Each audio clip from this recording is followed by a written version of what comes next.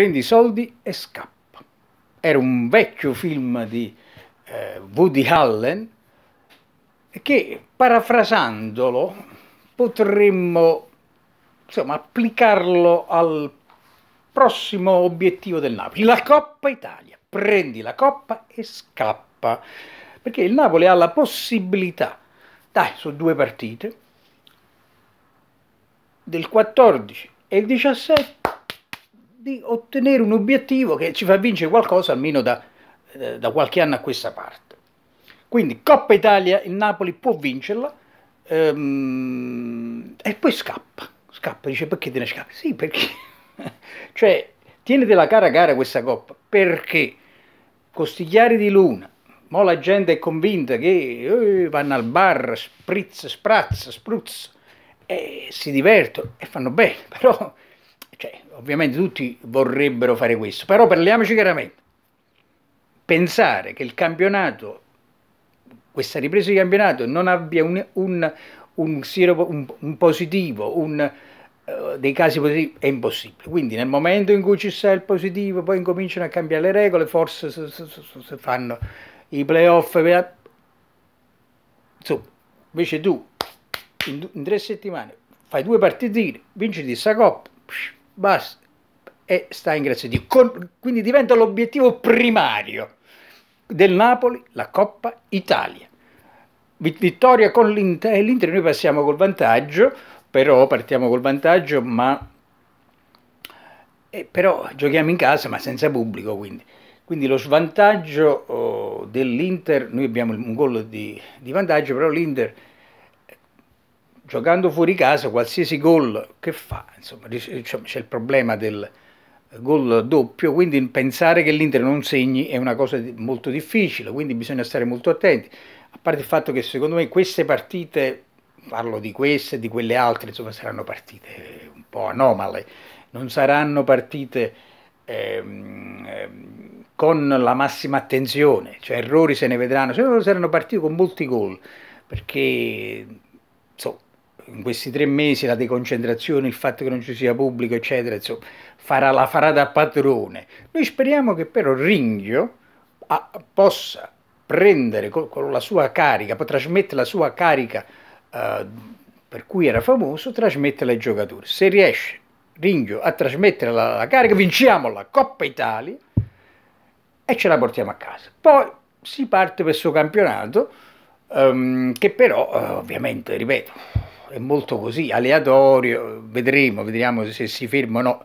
Insomma, le cose non sono così facili come sembrano, però ipotizzando che tutto vada avanti tranquillamente, che il campionato poi vada avanti, abbiamo sempre la possibilità, a differenza di quando avevamo prima, eh, in cui avevamo un'Atalanta che oramai era, era imprendibile, ora potrebbe darsi che questa Atalanta, prima vinceva 10 gol, 15 gol, 10 gol, sto dicendo, 5 gol, 4 gol, 7 gol, era, era molto oh, concentrata, era, era, imbattibile. Adesso, siccome qua parliamo soprattutto di un problema di testa, e dispiace che tra l'altro l'Atalanta e anche insomma, i bergamaschi hanno ottenuto, hanno purtroppo subito quello che hanno subito, e comunque questa è la situazione, l'Atalanta potrebbe essere deconcentrata non, probabilmente non avrà la stessa concentrazione che aveva prima, il Napoli siamo là, insomma, se riesce a trovare, a ritrovare un po' la concentrazione degli ultimi tempi, perché poi eh, dopo un po' di fatica, eh, insomma,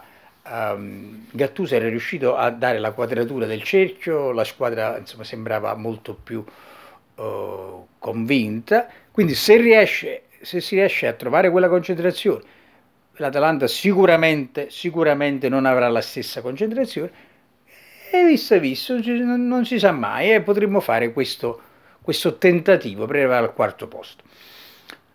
Ma insomma, siamo, siamo, ottimisti, dai, siamo ottimisti in questo senso. Poi non, sa, non si è capito ancora la Champions League e cose, poi vedremo un po' che cosa succederà.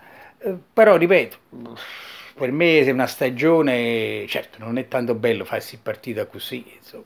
però se si riesce a vincere questa Coppa Italia, poi alla fine del tempo ci sarà questa Coppa Italia eh, nel, nel, nell'album no? eh, d'oro, quindi vediamo un pochettino se questo è possibile. Per quanto riguarda eh, l'epidemia, per me siamo, siamo ancora lontani eh, dal, dal, risolvere il problema, la gente è convinta perché chiaramente gli italiani hanno sempre una, una visione parziale, dice ma qua oramai così, non si rendono conto che questa cosa è mondiale e io sono attento a vedere cosa succede, perché questa mi sembra la cosa logica, nei paesi dove era stata riaperta qualche settimana prima. Tutti i paesi ah, sono tutti risaliti, quindi alcuni hanno chiuso, vedi come è capitato in Corea, altri non possono richiudere perché dico come facciamo? Metti gli stati americani, no? gli stati americani che è successo? Hanno chiuso tutti gli stati americani, ma poi parlo degli Stati Uniti, e, sai, tutti i governatori hanno chiuso, poi non volevano chiudere, chi protestava, chi faceva, poi comunque hanno aperto. E intanto mo stanno, stanno salendo a dismisura, direi, eh, ma non possono richiudere, quindi si, stanno in mezzo, ci sono alcuni stati veramente inguaiati. Vedi la California, la California che sembrava, Dio, se l'era scansata all'inizio, perché aveva chiuso, sembrava andare tranquilla, oramai la, la California, il Texas stanno esplodendo e poi altri stati. Insomma, sicuramente questo sarà un grosso problema che rimarrà per lungo tempo per quanto riguarda gli Stati Uniti. Ma in Europa invece aprono, la Svezia ovviamente è il paese al mondo con più morti, morti dovuti in proporzione alla popolazione, perché ovviamente uno che non ha, non ha chiuso poi voleva vedere che cosa c'è. Ora vende, quello continua a salire la curva, i morti aumentano Uh, altri paesi sì, si sottra... ecco, mo si aprono le frontiere, Germania, cose, l'Austria no, non fate venire gli italiani, ma non è che, cioè, il problema non è tanto l'Austria, un paese, eccetera. L'estate porterà sicuramente a un, a un turbiglion di passaggi, di movimenti, eccetera, e così, e quindi avremo sicuramente un ritorno del, della, dell'infezione, diciamo. D'altro canto, quando si parla di seconda ondata, non è che si parla di seconda ondata come diceva, vabbè, come fosse un fatto che dipende da, so, dal tempo, da qualcuno, non è altro che il rilassarsi da parte delle persone che prima stavano più attente, poi piano piano dicevano, boh, ora mamma risolto, giusto, che fai stasera? Ambriaca e cose, fanno bene pure, Beh, però intanto moltiplica questo per milioni di persone e vedrai che improvvisamente schizzeranno da un giorno a un altro, questo è così, è, è un lavorio nascosto di questa malattia, non è che dice è come quando in, Lombardia che era successo, insomma a un certo punto è stato il primo caso, poi dopo sono venuto una presa con una velocità disarmante. Quindi praticamente la situazione è questa. Per quanto riguarda il calcio, il calcio sarà condizionato da questa situazione. Io mi sembra difficile che non ci siano dei casi positivi, vedremo. Comunque sicuramente il Napoli ha la possibilità di battere l'Inter e la Juventus o il Milan, perché qua sono partite che non si sa chi è vincitore, chi è, non si sa niente, ecco, diciamo. Quindi il Napoli potrà sicuramente, ehm, ce la può fare, e vinciamo questa coppa, facciamo questa cosa. Poi si vedrà, è così. Per me, purtroppo, le cose saranno ancora lunghe da... Eh, qui, almeno in Inghilterra, per il momento, sì, si esce senza mascherino, perché qua in Inghilterra le mascherine non si portano, eccetera. Però si va lentamente così, però è lunga ancora, la cosa è lunga.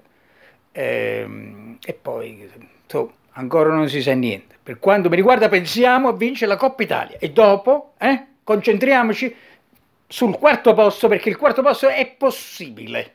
È chiaro, l'Atalanta se ne scende, Napoli vince il quarto posto. Poi che succede? si sa, Champions League, Barcellona, Barcellona si vince, si, si, basta discutere. Barcellona si vince, si vince, anno straordinario, partite roccambolesche, Napoli vincitore della Coppa Champions League. Quindi Champions League, quarto posto, Coppa Italia e basta. Buonanotte.